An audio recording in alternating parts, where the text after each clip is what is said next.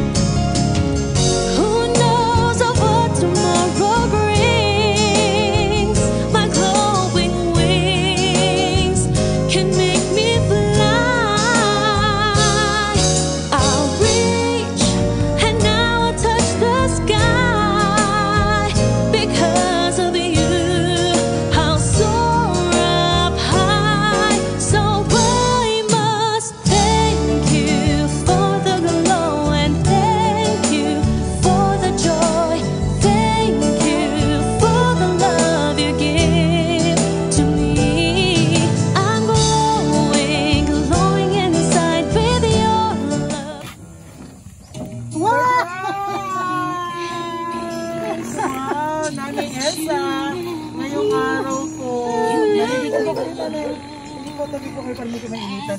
Nay, ngayon po ay araw po ng mga nanay, kaya nandito po kami ang Toton Moments kasi may isang tao po nais kayong uh, sorpresahin sa araw po ng mga nanay. At hindi lang yun, Nay, syempre, kahit malayo po at medyo hindi sila makauwi, pero sinigurado pa rin po nila na sorpresahin kayo sa Mother's Day na to. Pero bago ko muna po, ah, batiin kayo syempre ng ah, Happy Mother's Day para po sa inyo po to Nanay Elsa. Alright. So, syempre Nanay Elsa, meron po kaming dala dito. May cake po kaming dala para po sa inyo yan. Ayan, binabati po kayo ng Happy Mother's Day. Ayan, Happy Mother's Day kay Nanay Elsa. Tapos, syempre, Nanay Elsa, ah may dala din po kami. Favorite nyo ata to, Jollibee. Ayan. Sige po, hawakan niyo po yung bukay Nanay Elsa lahat. Sige So, ma'am. Nanay, nasaktuhan namin si Nanay Elsa. Papalako na siya ng paninda niya na laing. Pero, ngayon Nanay, short lang muna to dahil nais namin kayong pasayahin. At meron pong isang tao na gustong batiin. So, nais ko pong ah, basahin itong mensahe niya para po sa inyo. Okay? Hello, Nanay. Happy Mother's Day sa'yo. Pasensya na, di ako makakauwi, may pasok kasi ako. By the way, kaya ito na lang naisipan namin ni Alex ang gawin.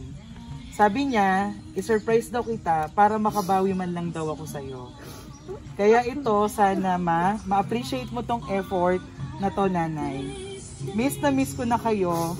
Minsan nalulungkot ako kapag mag-isa ako sa bahay. Pag si Alexa ay may pasok din. Nanay, maraming maraming salamat sa mga sakripisyo mo sa aming magkakapatid. Isa kang superhero, kayo ni tatay.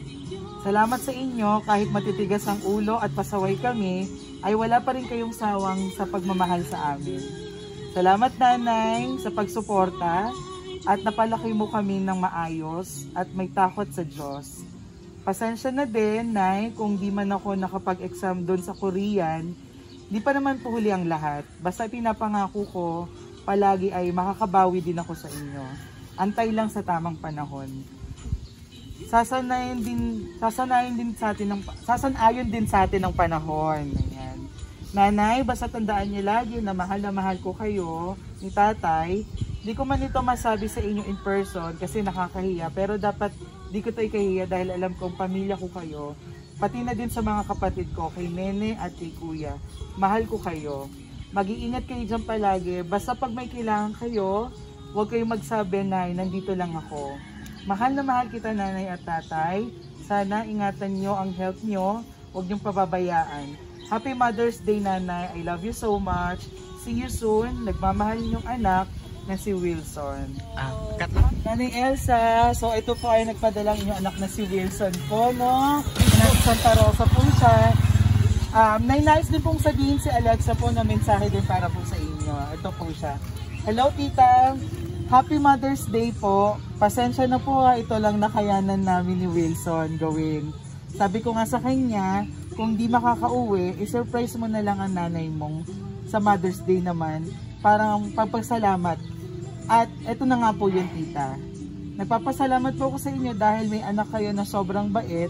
Minsan pasaway nga lang. Pero tandaan niyo po, al- ah, alagaan at mamahalin ko po ang anak nyo. Kung gano'n nyo po siya kamahal, gano'n din po ang ibibigay ko. Tita, alam ko po na di pa tayo nakikita in person, pero ramdam ko na po agad kung gaano kayo kabuting nanay para sa mga anak ninyo. Pangako po, pag uwi ni Wilson, ay diyan kasama ng po kayo. Enjoy niyo po ang araw na ito, tita, at para sa inyo to at ikaw ang bida. Mag-iingat po kayo dyan palagi. Again, Happy Mother's Day po sa inyo. I love you. Alright. So, Nanay Elsa, ayan po, ah, kahit araw po ng mga nanay ngayon, pinili nyo pa rin po na magtrabaho. No? Pero ngayon pong araw na to, deserve nyo naman po syempre i-honor ah, bilang nanay. Kayo po, ano pong gusto nyo pong sabihin sa anak niya na si Wilson? Tutoy, salamat. At naalala mo naman ako kahit hindi ka pumunta sa atin. Kahit sabi mo may kilali may pasok. Salamat at pinasaya mo nga ako. Talagang napakasaya ko nga pero ako'y naiiyak. salamat na marami sa inyong dalawa, Alexa. Tutoy, salamat. Yay! So, happy Mother's Day po, Nanay Elsa, no? At sana ah, nagustuhan at na-surprise po kayo sa surprise ni Wilson. Surprise na surprise nga yung ginawa. Stay po. At kay. Sir Wilson, kay Alexa po, maraming salamat sa tiwala na ibinigay niyo sa amin para Wala. masurpresa ang inyong nanay dito sa Ayan, sa Quezon, sa Riaya. Okay, so picture mo tayo.